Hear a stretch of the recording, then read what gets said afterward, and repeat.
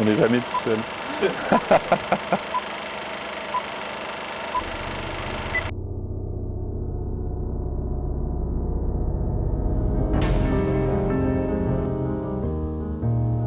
Bah moi, les, protagonistes du film, je les ai rencontrés il y a dix ans, au, moment de leur adolescence, donc au moment où je formule les rêves, euh, les, désirs, au moment où on est encore euh, dans, le, le, cocon familial, euh, où on est encore à l'école, dans l'institution. donc évidemment, c'est une sorte de marchepied vers, vers l'âge adulte. Aujourd'hui, je les filme dix ans plus tard.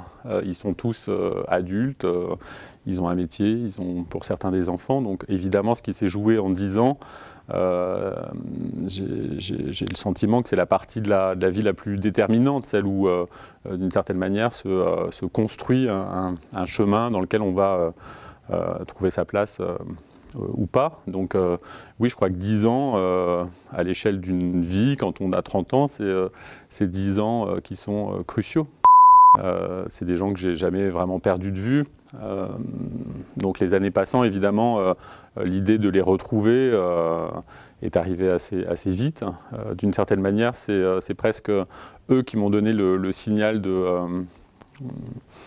de, la nécessité de faire, ce, de faire ce film, de se retrouver, puisque c'est Morgane qui un jour m'appelle en me disant bah, j'ai entendu une émission de radio avec une enseignante justement qui retrouve, qui retrouve ses élèves dix ans après.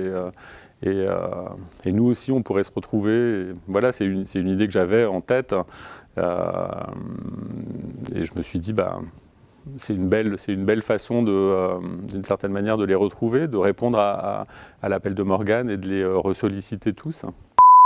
évidemment, le respect, c'est la, la base de, de, ce qui nous unit entre le, filmeur et, la personne qui est filmée. C'est comme ça qu'on peut euh, d'abord se faire confiance et, continuer à écrire quelque chose euh, ensemble. Donc euh, la, place des silences, évidemment, elle, c'est aussi une dimension de réflexion, c'est-à-dire que ce qui, est livré par la parole, c'est aussi le fruit d'une réflexion qui peut passer par un silence parfois, où, où, le silence peut, ponctuer une phrase parce que ce qui vient d'être dit pose question ou ou est peut-être euh, parfois euh, euh, tellement... voilà, c'est la première fois qu'on l'énonce. C'est des gens qui m'impressionnent qui par leur détermination. donc évidemment, il y en a qui ont, qui ont parcouru un, un, trajet social qui est, qui est, qui est assez extraordinaire, assez, assez remarquable et compliqué surtout. pour d'autres, le la, différence entre leur milieu d'origine, leur milieu familial et, leur position sociale aujourd'hui est moins, est moins importante, mais ils ont tous, ils ont tous euh, d'une certaine manière cheminé. Euh, euh, c'est pas forcément des chemins qui m'étonnent parce que le, film essaye de raconter, de raconter ça aussi, c'est-à-dire tous les obstacles qui sont les, les obstacles qui sont là devant les, jeunes de ces, de ces quartiers populaires euh, qui ont été dans des, euh, systèmes d'éducation prioritaires et pour qui la destination universitaire ou, ou, les études ne sont pas un chemin a priori attendu par la société. donc quand, ces, obstacles-là sont franchis, comme, comme Laura qui passe cette thèse de, pharmacie, évidemment il y a quelque chose de d'exceptionnel, d'unique, euh, qui démontre d'une certaine manière que, euh, euh, que l'idée de si on veut, on peut, en fait, elle n'existe pas parce qu'elle est vraiment. Il y a quelques exceptions qui confirment la règle de la reproduction sociale et, la règle de la difficulté pour les jeunes qui sont justement issus de ces catégories sociales euh, qui sont euh, d'une certaine manière défavorisés dans, le, dans la course du système scolaire. En tout cas, la, voix d'Emmanuel, euh, qui est, l'enseignante, qu'on voit dans la classe avec ses élèves aujourd'hui, mais en effet qu'on entend en voix off comme ça tout au long du film, c'est une voix réflexive.